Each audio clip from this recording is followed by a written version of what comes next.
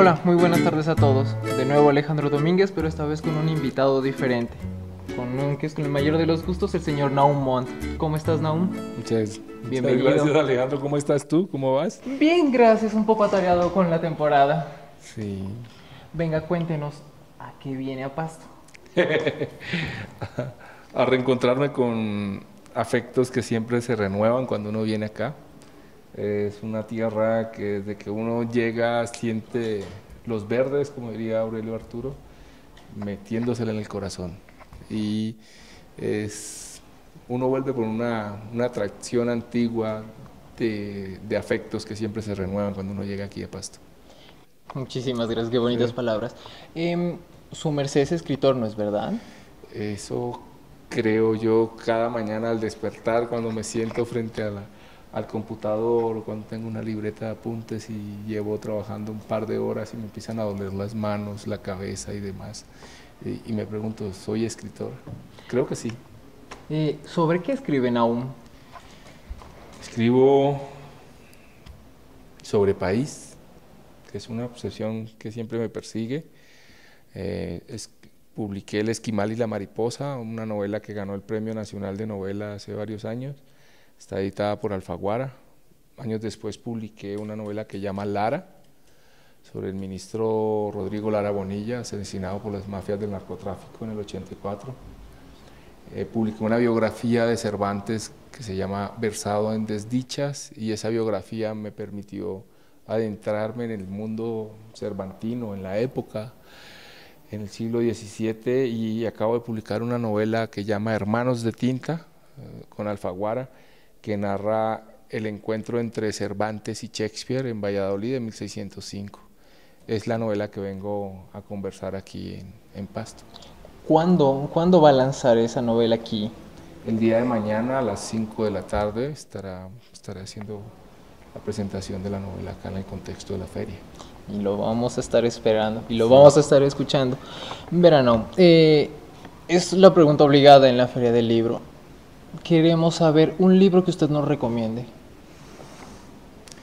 Ah, tantos, pero sería pensar a, qué, franja uno se lo recomienda. Niños y jóvenes les recomiendo la colección Leer es mi cuento, que se está obsequiando aquí en el contexto de la feria a quienes, a los niños y jóvenes que vengan, a los papás, con la recomendación que se lleven esos libros que forman parte de una campaña muy ambiciosa del Ministerio de Cultura y que se animen a leerlo en voz alta, que los padres, los mayores eh, se atrevan a leerle a los chicos en voz alta. Ese es un ejercicio muy bello de, fíjate que es de, es- finalmente es un ejercicio afectivo, de amor, de usar la lectura como, como la posibilidad de, de comunicar uno el afecto que tiene hacia, hacia los chicos. Ah, para los jóvenes, recomendaría que lean las crónicas de Alberto Salcedo Ramos, que, que vamos a estar conversando con él en el día de hoy. Recomiendo también para los jóvenes un ensayo supremamente divertido del cual me he tenido que agarrar la barriga de la risa, que se llama La Juma de Macrole el Gaviero, que es un ensayo de Antonio García, que estuvo conversándolo en el día de ayer acá en la feria, donde eh, hace un rastreo riguroso y minucioso en toda la obra de Álvaro Mutis, en la obra narrativa, y encuentra una cantidad de, mm, de fórmulas, eh, recetas para hacer cócteles y de consejos para, para ser un buen bebedor. Eh, basado en la obra de Mutis, yo sí digo, Antonio sí no tiene oficio. Pero es divertidísimo, es, es, es fascinante uno leer un ensayo, vos tenés la imagen del ensayo riguroso, argumentativo, persuasivo y demás pero este es un ensayo muy, muy divertido. Se llama de verdad La Juma de Macrole Gaviero. Perfecto. Eh, bueno, usted tiene muchísima trayectoria, nos lo acaba de comentar. Eh, a las personas que tienen tanta trayectoria es imposible no preguntarles qué consejos le puede dar a la gente que está iniciando en el camino de la lectura. Sí, es que uno adquiere el hábito de la lectura a través del ejemplo, a través de ver a los demás leyendo.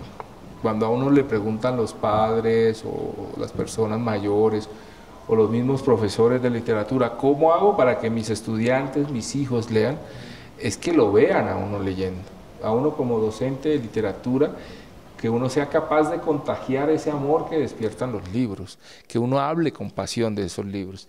Y a los padres de familia que tienen esa enorme responsabilidad de crear esos hábitos en sus hijos, es que tengan libros adecuados para ellos ah, y que ellos a su vez lean y que sean capaces de, de, leer con ellos, ya sea en voz alta, o de que ellos continuamente estén leyendo. Uno aprende a leer casi que por imitación.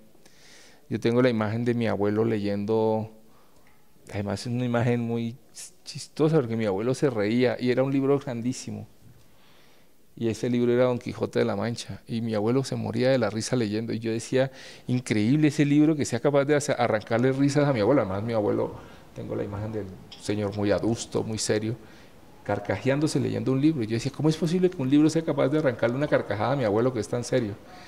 Em, entonces, el, el consejo que uno les puede decir es que tengan libros siempre al acceso de ellos, que puedan llegar a esos libros que si son jóvenes que le tengan ese tipo de crónicas. Mire, vea, yo con mis hijos, que tuve muchos, yo incluso llegué hasta tener suscripciones con estas revistas eh, que tienen crónicas, pero que también tienen mujeres modelos desnudas como Soho y Don Juan, para que mis hijos adolescentes se acercaran a la lectura. Eh, creo que logré el objetivo en casi todos. Eh, llevan ese hábito y el hábito que conlleva también a adquirir, a comprar libros, a generar un gusto particular a, descubrir qué tipo de libros le, gusta leer, que ese también es un, es un camino que hay que acompañar.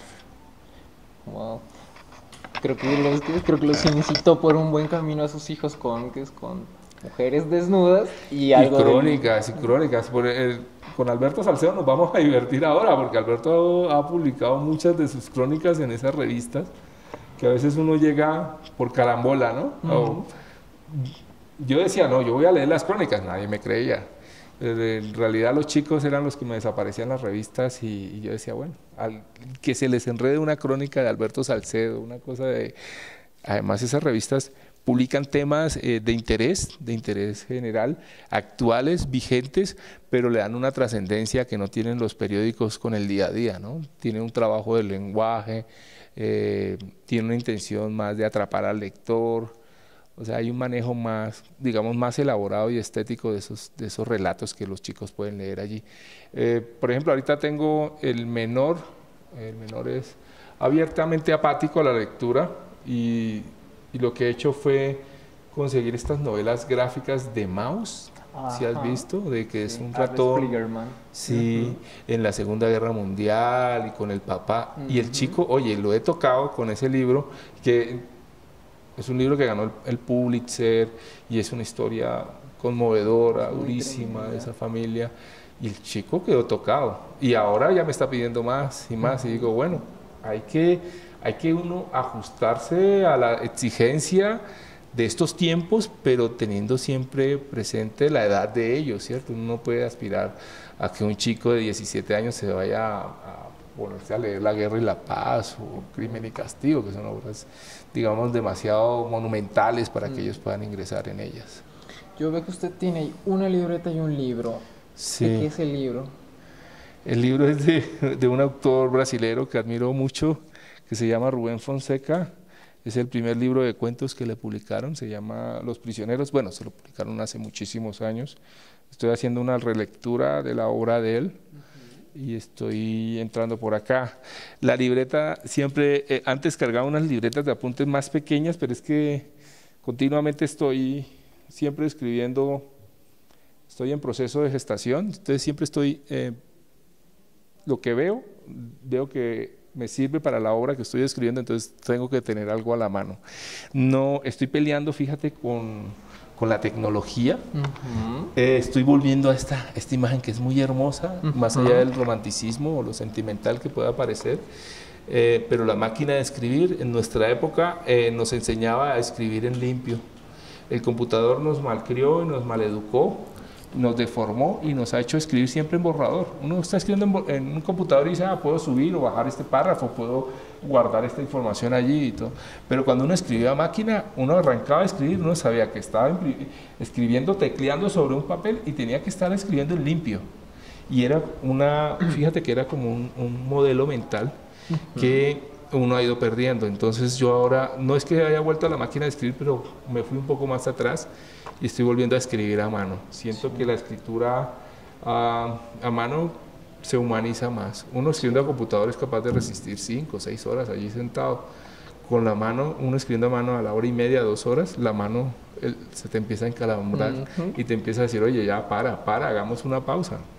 Entonces, a medida que uno empieza a escribir a mano, ya uno también dice, ah, bueno, en computador yo me puedo poner a, como dicen los jóvenes, a escribir carreta la que salga. A mano no, ya uno dice, no, tengo hora y media, tengo que ser, eh, tengo que apuntar a lo esencial y vuelve esa, ese modelo. Voy a pensar en limpio y voy a tratar de escribir el relato cómo sería, cómo quedaría.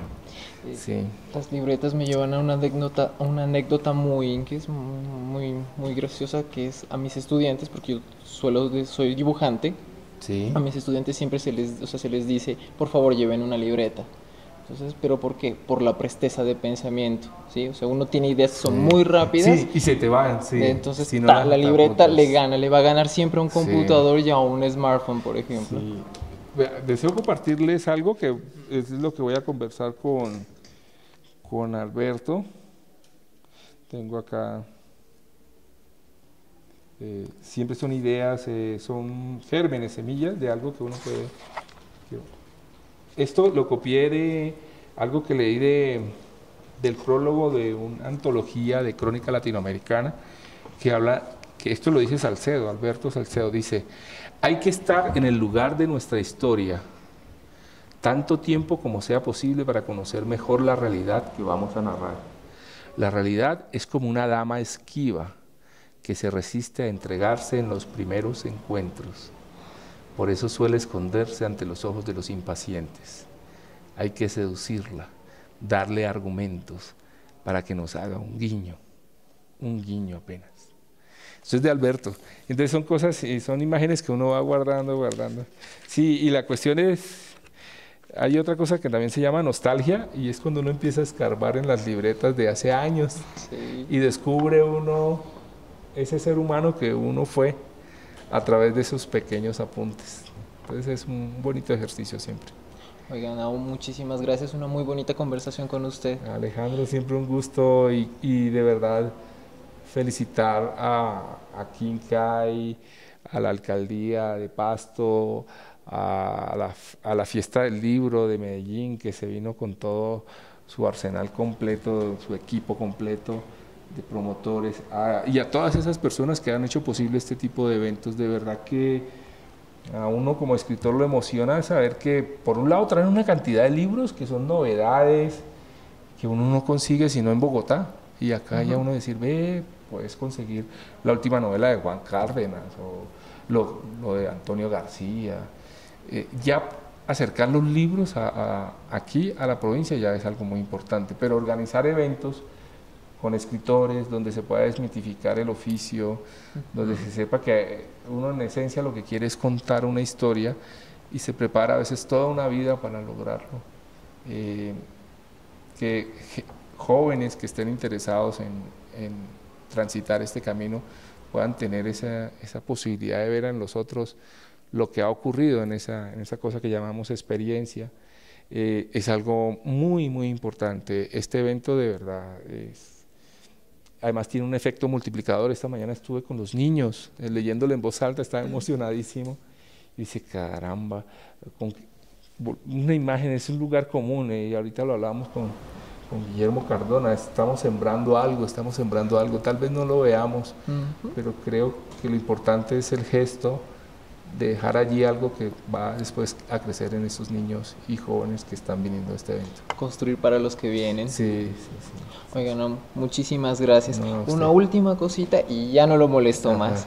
Eh, nos encantaría, por favor, Naún, de que nos invites, por favor, a la temporada de letras y feria del libro. Acérquense a la magia que esconde un evento, un evento maravilloso. Hay un colibrí sobrevolando en un verde inmenso.